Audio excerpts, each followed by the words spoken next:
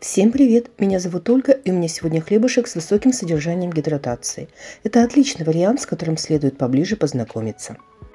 В результате теста с высокой гидратацией получается хлеб с тонкой хрустящей корочкой и нежным, равномерно открытым мякишем. Если все сделано правильно, результат выпечки будет превосходным. Хлеб легкий, воздушный, с кремовой текстурой и безупречным вкусом. Готовим! Муку и воду согласно рецепта объединяю и оставляю в покое на 1 час.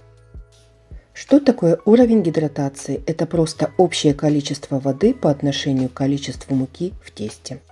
Через час добавляю закваску и соль и разведенные в небольшом количестве воды дрожжи перемешиваю и оставляю тесто в покое еще на 1 час.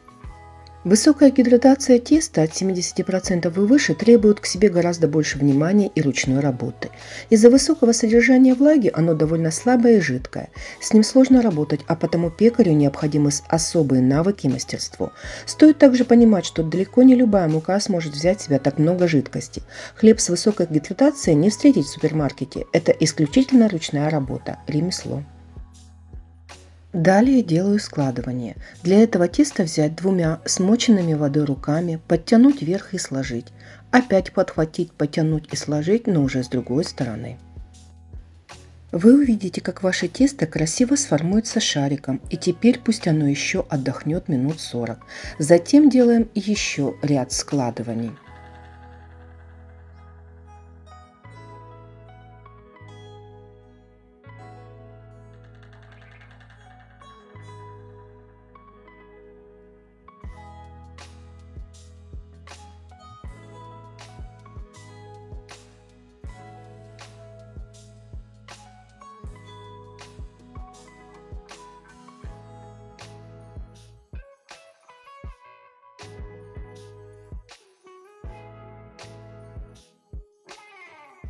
Далее тесто делю на две части. Из одной части формую хлеб и отправляю в холодильник до утра. Из второй части готовлю пиццу.